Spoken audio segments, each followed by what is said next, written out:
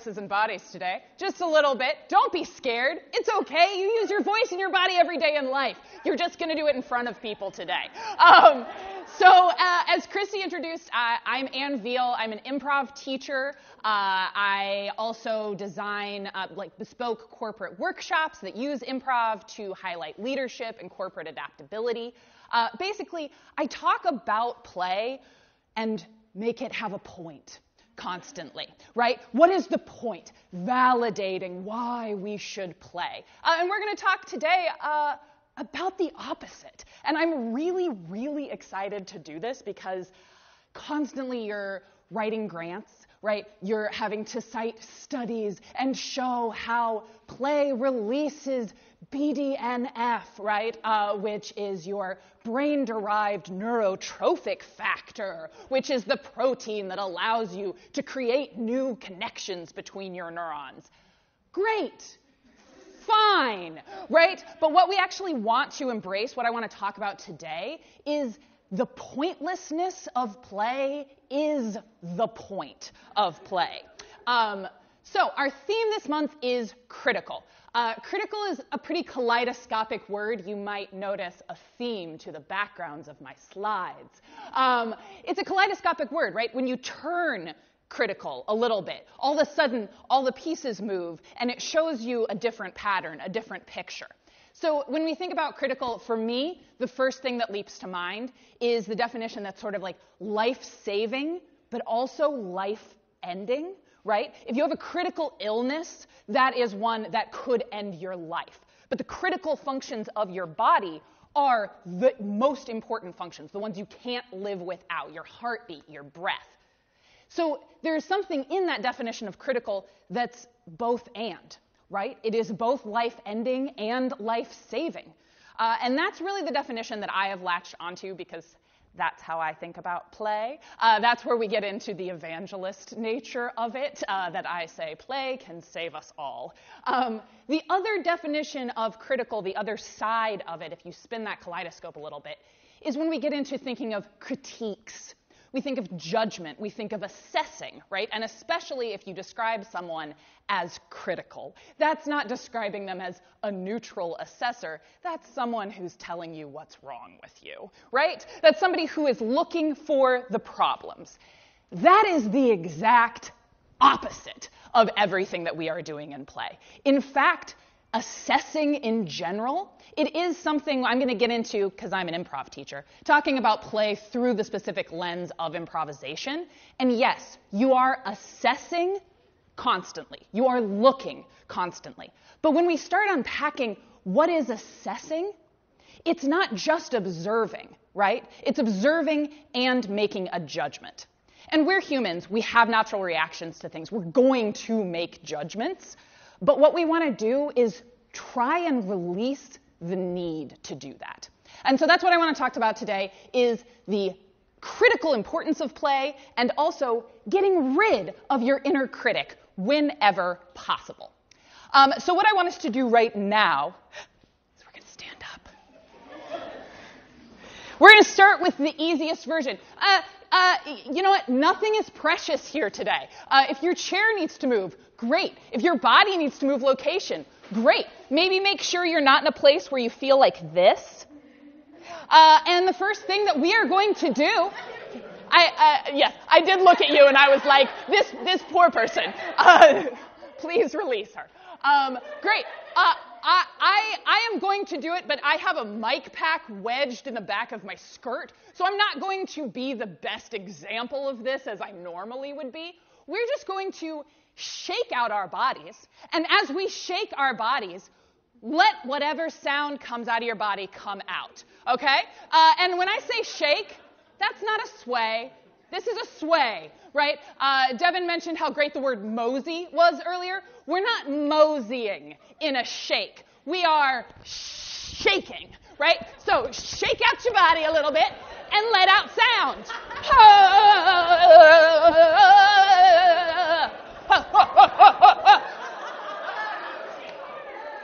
yes, freedom.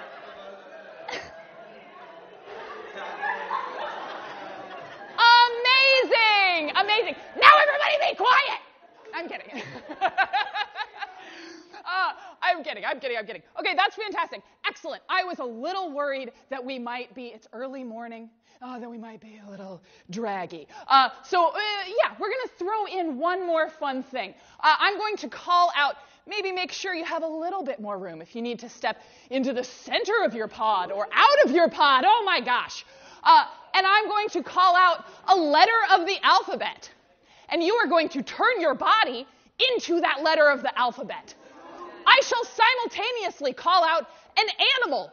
You shall make the noise of that animal. Excellent. Here we go. Let's start with an easy one. We'll start with an easy one. P. Make a P with your body and give me a chicken.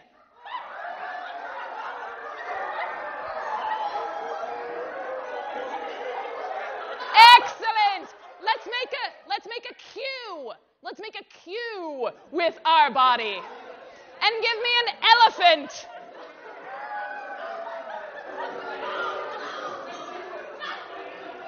Amazing. Okay, all right. I got to highlight. Uh, you're, you're already labeling yourself as my example person today. Um, but what's amazing is we created a Q together. Uh, we instinctively said,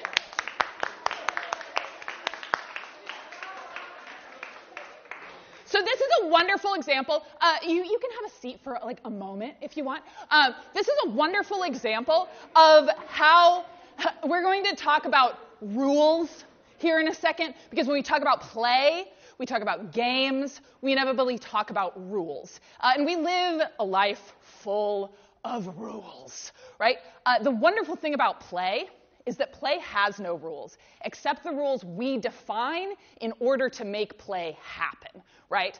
Uh, and so the rules, I did say, make a letter with your body. Great, that implied a rule of I'm doing this on my own, right? These brave folks said, you know what? To best accomplish the point of this, I'm throwing out those rules. I'm going to work together excellent, right? That is what we want to embrace in this is let's get to what we actually want to be doing and let go of worrying about rules when they do not serve us. Okay, click. There we go. Um, all right, excellent. Uh, we probably get up again. Uh, we had a nice rest. Uh, this will be this will be fast, and we might do yeah. We're going to do ten things. Um, you are going to walk around the room quickly. It, it can be right around your pod. There are lots of things. People have hats and ears and shoes and floors and banners, right? Um, everyone is going to point at a thing. You are going to see that thing, and then you are going to call it anything other than what it is. right? So, I saw this, I point at this, and I say necklace. Ooh. Excellent. So that's what we're going to walk around the room and do. Things to avoid. Because if you do this, you're subverting the point of the exercise.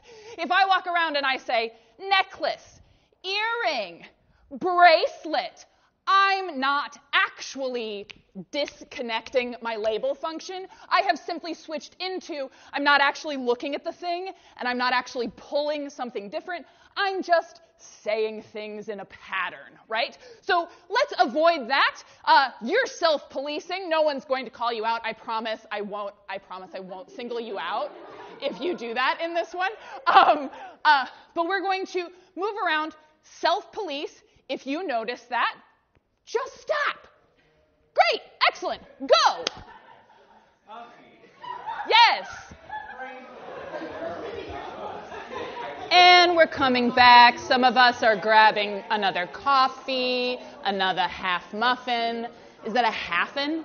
Um, great, excellent. Okay, so what we have done, what we have done when you do this exercise, this is a thing please take with you. Doing this increases your neuroplasticity for about an hour, right?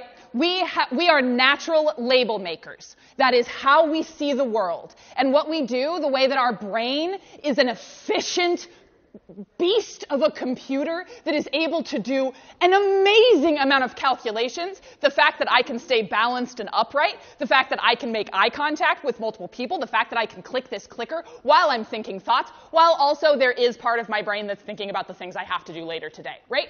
My computer is doing all of those at once. Uh, and so how our brain functions to do that is it creates labels. And so we stop seeing things because we give it a label and we just say chair, balloon, person, cup, right? And I don't actually have to take anything in. I don't actually have to notice anything. And so what we want to do is interrupt that. It's a very helpful th- skill, right? It's how we are able to survive, uh, but it's also something that limits us in certain ways. It's something we want to be mindful of, and it's something that we can practice getting out of. So this is a super simple thing you can literally do every day when you wake up. You could do it once an hour every hour, and then probably live forever and be 99 and like able to learn eight new languages, right? Um, and so, what I want us to do right now in your little group, uh, we've got these balloons. We're going to now play together a little bit.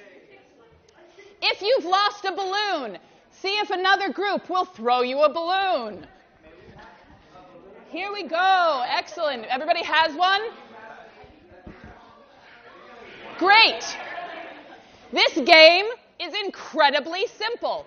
This game is we are going to bounce the balloon in the group and we are going to say our names. That's it. Go. Everybody has gotten a chance to say their name that's in a group? Beautiful. Thank you so much. Uh, continue to play with the balloon if you want. Continue to continue to play with the balloon if you want, but let's quiet down. Uh, I recognize that I'm, I'm kind of torturing because I'm constantly going, be free, be delightful, yell and scream, and then I'm going to go, shut up, right? Because uh, we have things to talk about. Um, uh, but I want to I want to call out something that happened, right? Uh, so again, when we're talking about creating rules to allow play to happen, Bouncing a balloon to me is one of the simplest, most beautiful types of play, right? Um, I know I have been at many a party where there are balloons on the ground, and all of a sudden, out of nowhere, some brave soul picks up a balloon and throws it in the air, and we all know now there's a game happening, right? Oh, oh, pop! Yes, I played the game, right? And what is the point of the game? The point of the game is not to let the balloon hit the ground, right? And how do I know that? I just do, right? I do because that's what we're already doing. And so we're going to keep doing more of it. The point of the game is not to create a complex pattern system and understand the aerodynamics of the balloon. The game is just to keep the game going, right? So one of the core elements of play is that it's self generative. Uh, when I talk about, yes, I've been waiting. Um, exactly. Play is self generative. The point, it's why sports aren't really play, right? Uh, because sports have a purpose. Someone wins, someone loses, and it ends.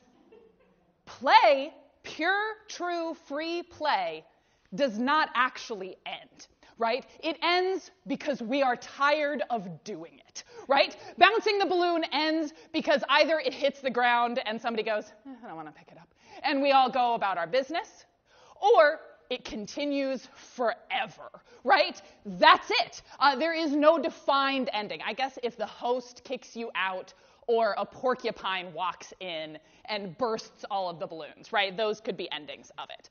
Um, Excellent. So this is where we are getting into play. Um, the, li- the critical nature of play, that dual life saving, life ending nature that I was talking about earlier, uh, is really summed up uh, by the term lila. Uh, if you read, if, if nothing else, please go read Stephen Nachmanovitch. Um, if you are lit up or interested by this concept of play, he is the foremost expert on play and improvisation. Uh, in his book, Free Play, he starts it by talking about this term lila. It is a Sanskrit word that means play.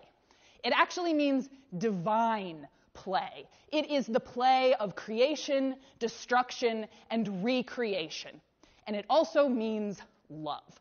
So when I talk about play, we're really talking about that. We are talking about wholeness. We are talking about things that self perpetuate. The point of play is to continue itself. The point of life is to continue itself. Those are just interesting corollaries uh, that I like to bring attention to. Um, there are a lot of, as I mentioned earlier, a lot of great people who talk about the point of play. Uh, if you want to listen, uh, Dr. Stuart Brown has an amazing TED talk on it. We'll give you all of the stats, all of the information. You can go look up a million actual scholarly articles or listicles, right, that will tell you about the importance of play. But as I was saying at the beginning, I think that by focusing on the importance of it, by getting into the facts, by saying, yes, it releases endorphins, right? Uh, when you take time out to play, dear God, you can be more efficient when you go back to work. That's why we should play. When we get into those kind of frameworks of thinking about it, I think we're actually missing the biggest point, which is it's pointless. It has no culminating result. It has no outcome that we are trying to achieve. It is focused on being, right? Another amazing Stephen Nachmanovitch quote is that play is where the noun of self becomes a verb, right? We are no longer a being, we are being. And so that is the nature of play that I think when we get a little over analytical about it, we start losing. The play that I focus on is improvisation. Um, uh, as I introduce myself, I'm an improv teacher. Uh, if you jump to whose line is it anyway? Uh, if you jump to uh, maybe you come from New York and you say, I've seen Upright Citizens Brigade, I know what that is. Excellent. You know what improv comedy is, right? Uh, that is one specific type of improvisation. Improvisation is also jazz. Improvisation is also Kandinsky, right? Improvisation is conversation. Improvisation is any time you are doing something that you don't have scripted what you do next, right? So the, we're all improvisers. We're all improvisers. Already. You're already a genius at it. If you go into an improv class, you might think, I am not a genius at this. I am very terrified, and I am not funny, and I am not good, right? That is because we have been trained to have all sorts of blocks. We have been trained to focus on outcomes. We have been trained to control. We have been trained to make sure that everyone knows that we're smart, that everyone knows that we're competent, that everyone knows that we're kind, that everyone knows that we're good, right? And when you are worried about controlling the effect, yeah, improv- improvisation is really, really hard. Because what it is, is about trust and releasing control. Again, I get into the divine nature of it. When you trust and release, things happen that you could never expect to happen. Uh, my very favorite example of when you release control and you just accept what is, uh, I had an improvised play team. We did improvised Chekhov. Ooh, highfalutin art, right? Um, and we were doing we were doing a show at a college auditorium full of people, and someone it's silent. It's silent because it's art, and they know that they're supposed to be silent while art is happening. And some poor soul, thank them, knocked over their glass bottle of juice and it rolled down the auditorium steps. Now, because we are improvisers, we all said, Oh, yes, thank you. And what it became was an entire show about how our house that was, also, that was on a winery The basement was full of wine bottles, and the house was slowly settling and breaking apart. And so you would hear these sounds come out of the basement. And it was very Chekhovian. The house is breaking down around us, right? Um, and that only happened because somebody knocked over their bottle right? We never would have had that if we hadn't been present to an accident that was happening. Um, there we go. Uh, excellent. So this is like my personal working draft imperfect definition of improvisation. It is an ever shifting tension of opposites that allows us to discover ways to extend creative inspiration through time. Right? When we talk about play, we talk about that divine inspiration, this creative moment of inspiration. Uh, everybody here today, because we are all human beings and human beings are inherently creative, have had that moment of creative inspiration. And it feels like crack. It's so good, right? But we can't control when it happens. So what improvisation is, is a way of us to approach work so that we can allow that creative inspiration to extend and continue and have as many opportunities to breathe as possible. Yeah. Uh, an ever shifting tension of opposites. this is currently what I'm saying with it. However, at the same time, opposites is inherently wrong, right? Because we talked at the beginning about life, life saving and life ending. Those are things that sound like opposites, but that definition of critical is both and the same, right? So when I say opposites, that gets us thinking in a binary mode. There is this and there is that. There is black and there is white. There is right and there is wrong. And that's not what it is, right? It's about finding uh, risk and care. And saying those are both very important things. Now, I can't define for you, you need 20% risk and 80% care. Because some groups might need that. And some groups might say, we need 15% care. We're risk takers, baby! Right? You, what you have to do is stay present in what's happening. So, this ever shifting tension of opposites we're going to experience it right now. Let's see if we can get up and make one big circle, everybody all together. We'll see how this goes. Fantastic. Okay, I am going to say if we can adjust. So there, uh, we've got, it's kind of a lumpy circle. That's okay. There's nothing wrong with that. We're not looking for perfect forms, but we do want to be able to all connect. Excellent. So there are two things Three things, I guess, that you need to be able to do successfully to do this game. Can everybody go, bah? Bah. Awesome. You can do one. Can you turn to your left? Can you turn to your right?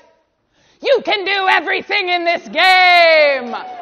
Excellent. Uh, so this game is called The Speed of Fun. Uh, it's the, the great Chris Bayes, who is a uh, like the foremost clowning expert in America. Uh, it's one of his exercises. So what we're going to do is someone is going to have it, and we're going to pass it around the circle. Uh, we are going to do this on rhythm, so all of us are helping. Great. So let's start with something nice and easy with a rhythm. We're going to. Excellent. I'm going to get us started here in a second. I'm going to make that sound and movement that we all practiced earlier and were experts at. I'm going to turn either to my left or my right, who knows, and I'm going to pass it. That person can then choose to pass to their left or right, and we're going to pass it around the circle. Excellent. Here we go. Ba, ba, ba. Excellent. So, we already hit the fun of the game. The fun is when it shuts down, right? When all of a sudden all we are doing is I just have to go ba and I can go left or right. That seems pretty easy. And then all of a sudden our body and mind go, ah! So, we started on a nice slow rhythm. Um, I'm going to have, I'm going to choose somebody over there so that we can shift because I think otherwise we'll probably keep it in this range of the circle. Um, uh, I'm going to, I'm probably going to choose one of those improvisers I know are over there. Hey, folks. Um, and we're going to pass it back and forth. This time, we're going to pick up the rhythm just a little bit, right? So let's try.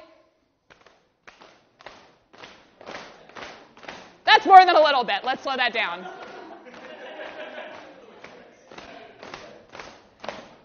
Okay, here we go. Ed, can you get us going?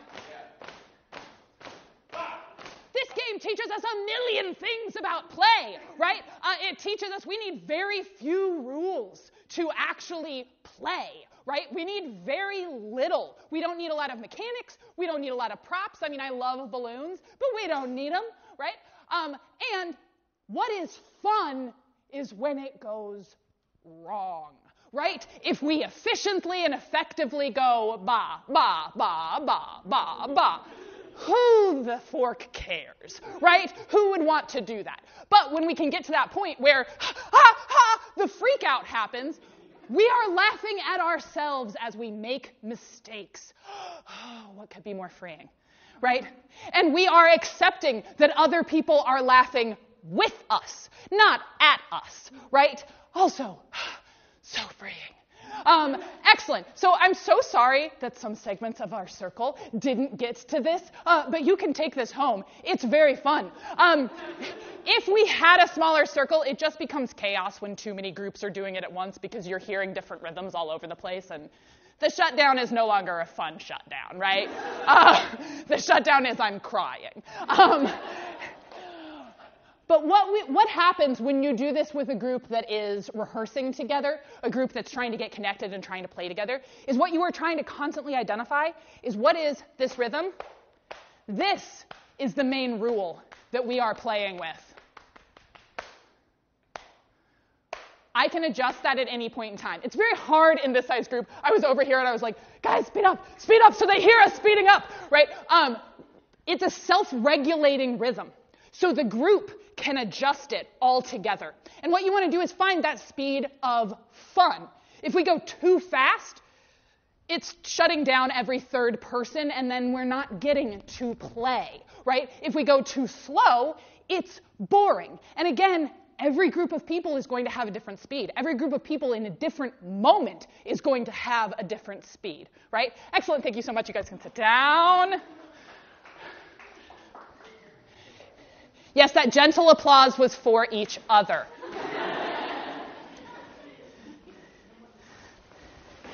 Excellent.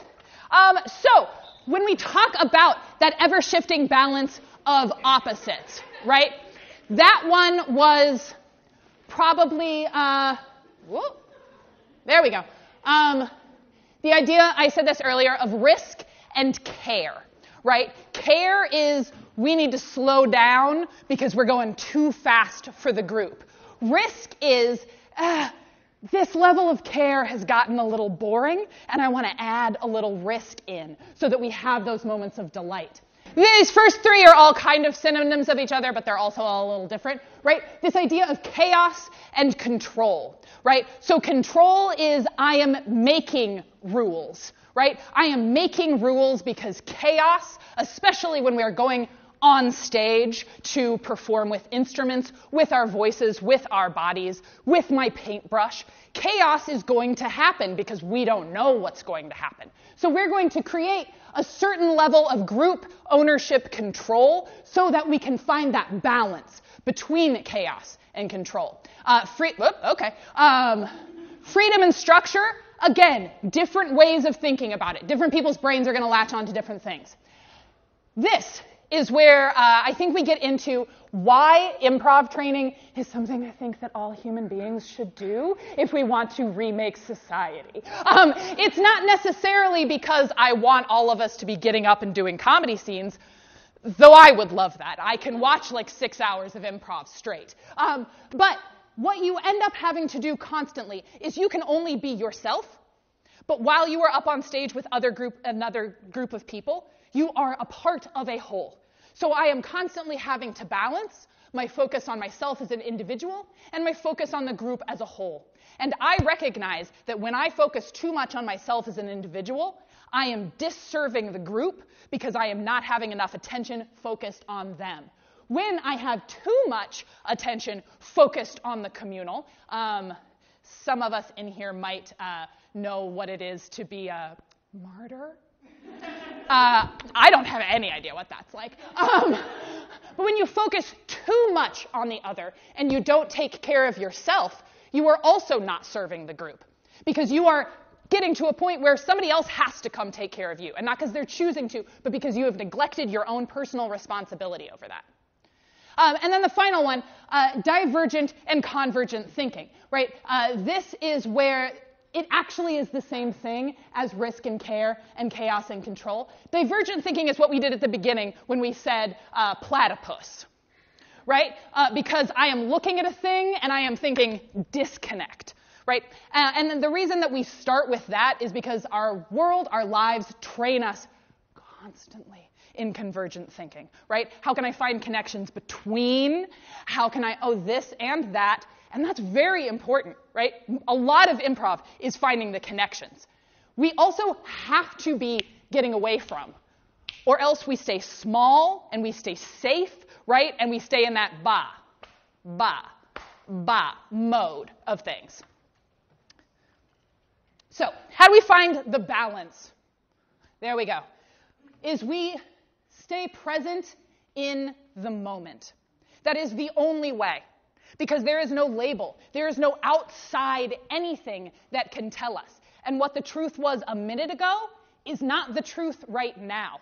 And so I have to stay present. I have to stay now. Uh, it is why we are getting up, we are being silly, we are laughing, we are bouncing around.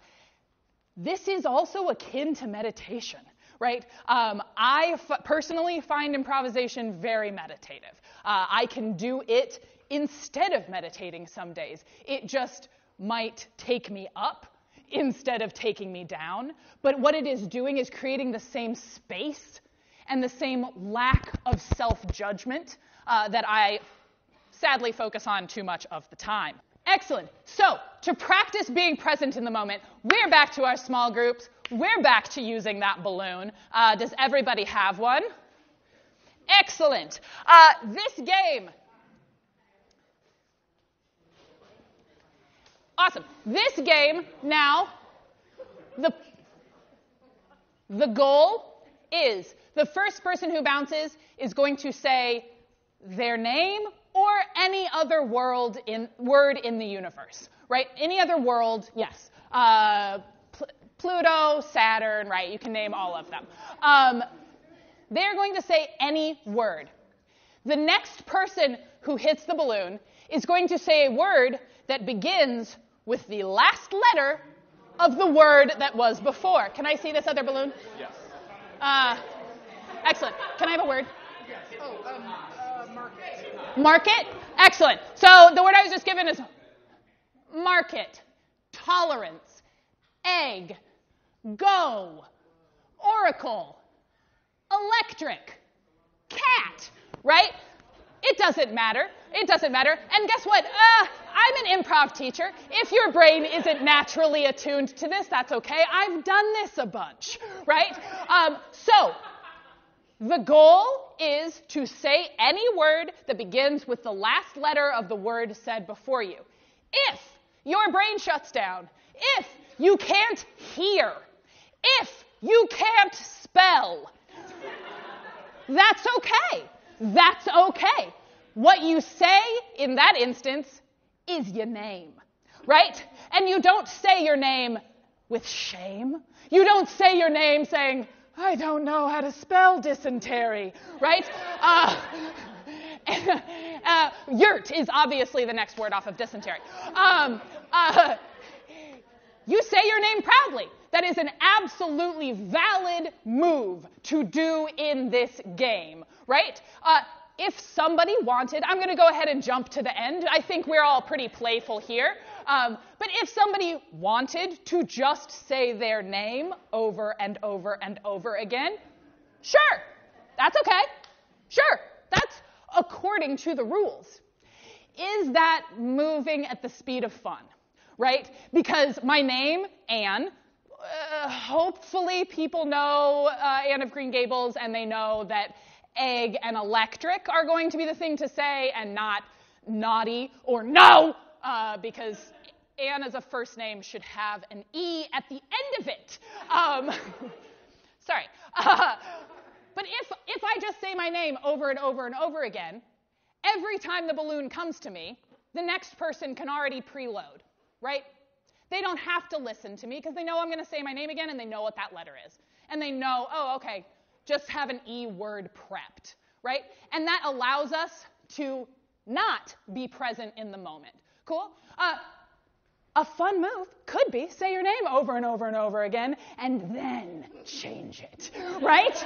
Um, that's, that's what we in the biz call fuckery. Um,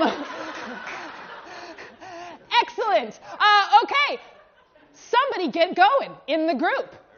And you might find that balance of volume where you can hear each other but not drown out other groups. Okay, improvisers, it's time. Um, all right, fantastic. So uh, I'm seeing groups taking care of themselves in different ways, right? We stood up. Uh, we moved away from people. Uh, we pulled our chairs in together and we're like, ah, the chaos around us, right? we must focus in, right? And we took care of ourselves in these different ways. Some groups were playing with more risk than others, right? Some groups were popping that balloon and having to do like a, you know, like a tennis lean to grab it. Uh, and some groups were focused more on care right? We're focused more on cool. We can all reach it at the point we want to reach it. That's great. That's what your group, without talking about it, decided that your group wanted to do by just doing it, right? Uh, we had some other risk moves. I heard escargot. That's a tricky one, right? Uh, because I want to say tricky, not Ottoman. Um, and uh, but did anybody else just to throw out, did you have a moment that surprised you, a moment that delighted you? I heard lots of laughter, so you're lying if you don't say anything. Excellent. Um, one of my very favorite little sort of like back pocket tricks in improv, if I start feeling myself uh, getting inside of my head, I start feeling uh, precious about making sure this thing is perfect and not messing it up, uh, I will start to say a letter and then say whatever word follows that, right? And so that might be Tarantino. And then suddenly in this scene, uh, my mother is going, Excuse me? And I said, I just watched a movie last night and it's sticking with me, right? And now I have to talk about and justify this whole thing that's going on. And what I did was just allow whatever was in my subconscious, whatever word happened to be floating there. I just read some dumb article about him yesterday, so it was wedged in there somewhere, right? If I said tuna, we would be taking it in a whole different direction. Um, and so, what is the main thing we had to do to be successful in this game? Say a word. Yes. Yes. Excellent. Right. So we have to listen. Um, and what listening is, when, when I say listening, uh, when we talk about listening in improv, yes, we are talking about our ears and hearing words. We are also actually listening with our eyes. We are listening with our energetic bodies. We are listening with our whole selves. Because listening is actually just the verb that gets us to awareness, right? Uh, and awareness is really what we are chasing. Um, I, my, my other life uh, outside of improv and performance uh, is in the self development world. They're actually the same thing. Um, but there, there's, there's, a, there's a lot of times uh, when you're an improv teacher, and I uh, assume you all have had the same experience, um, where you're, a student is asking you to give them notes, right? What can I do to get better at improv? And the only thing I can think of is go to therapy.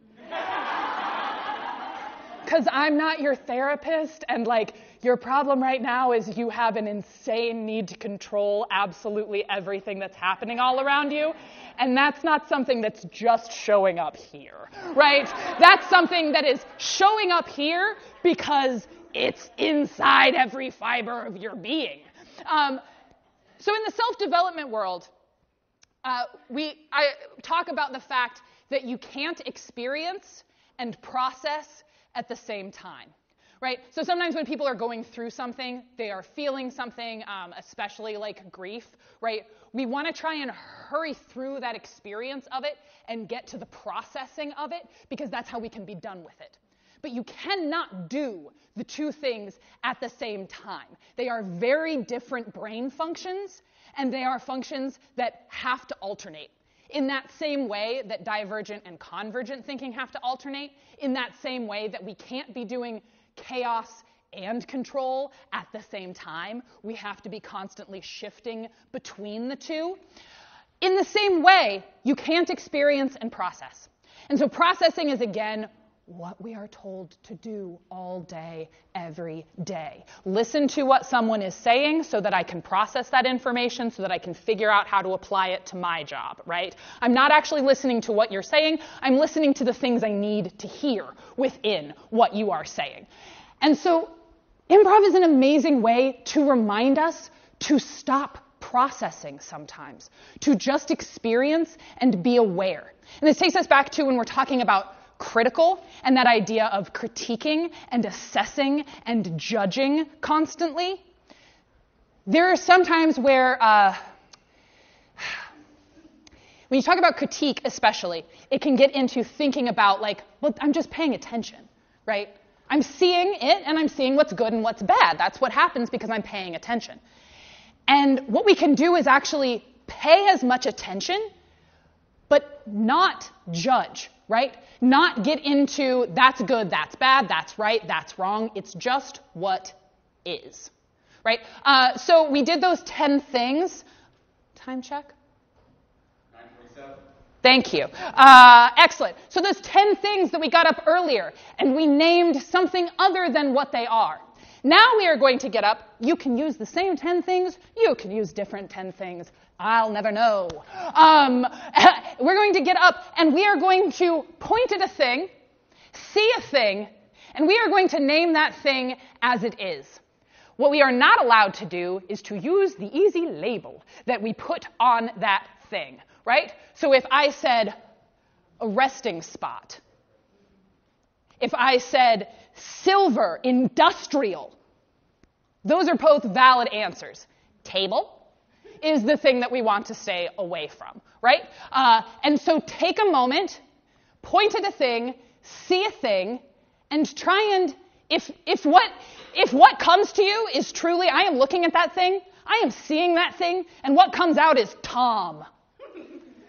Okay, that's fine, right? Uh, and you are the only one who will know if that came out of that feels like that's what this is versus farts, right? Like, versus whatever, I'm just saying something. So try and open up that awareness to see a thing and call it what it is that's not the label. If that confuses you, great.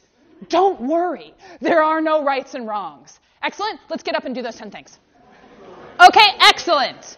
Lovely. So, nobody can know if you were right or wrong because there is no right or wrong. Um, but suddenly, I mean, listening to things, and uh, Devin, you're up front, so I keep hearing what you're saying. So it's not that Devin is the best or the smartest. It's just I keep hearing things that he says.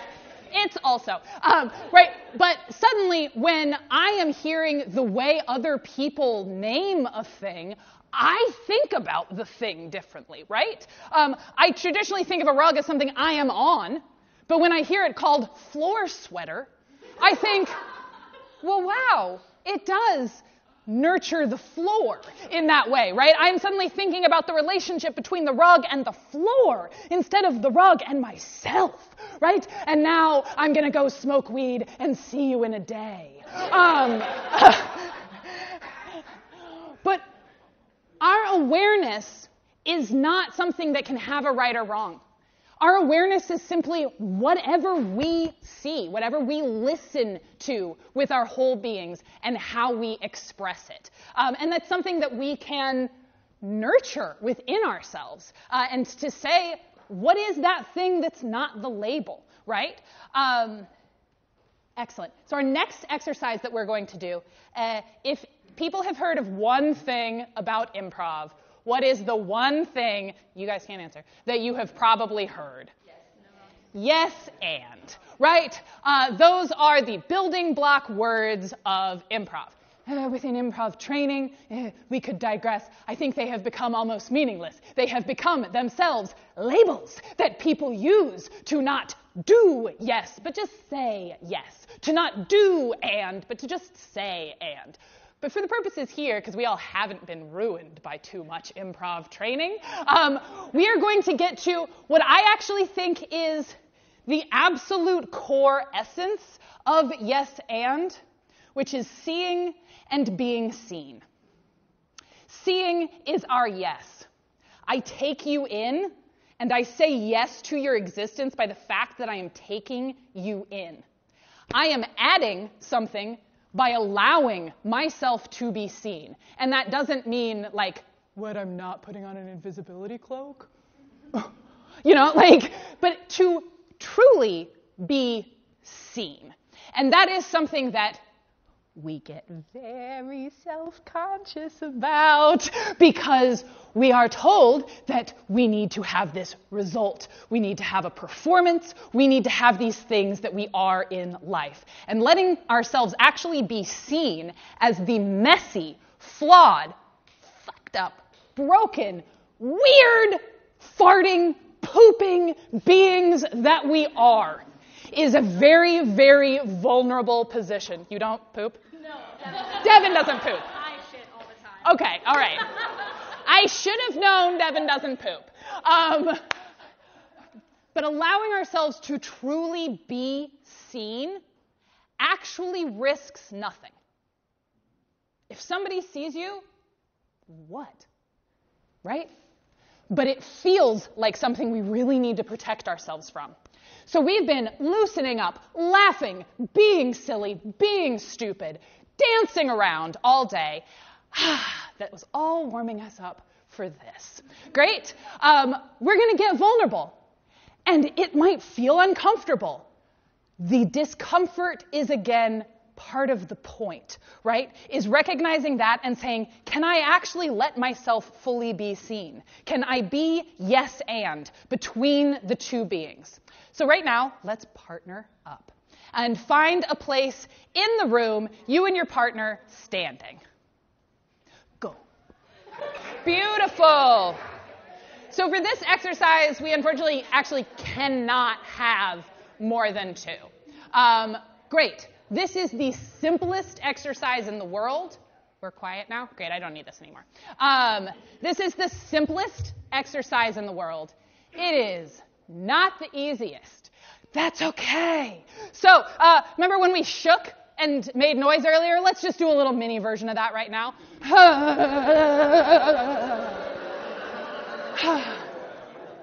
Excellent.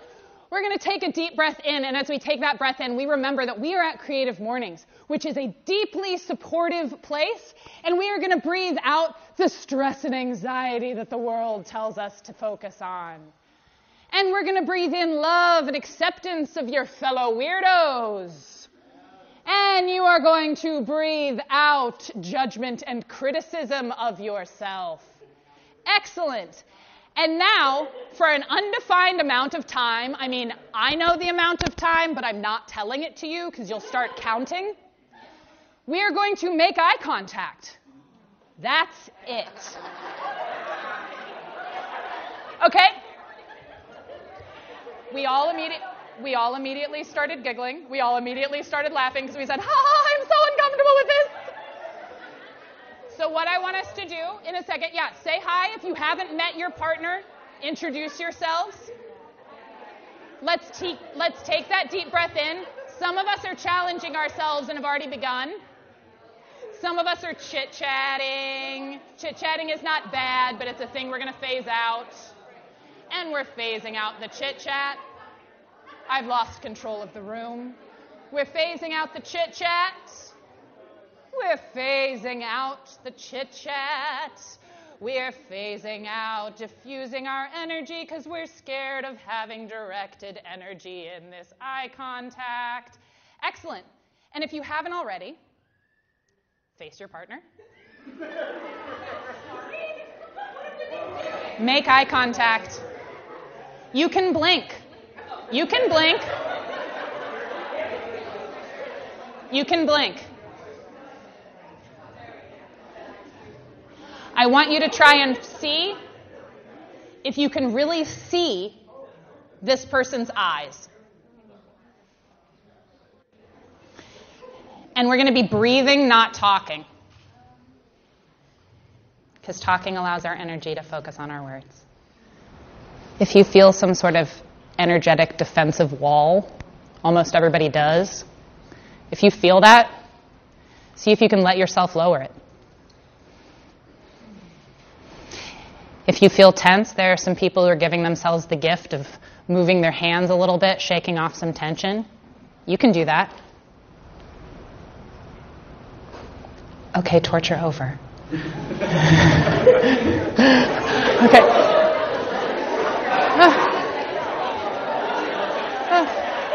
My favorite thing is people diving into hugs at the end of that.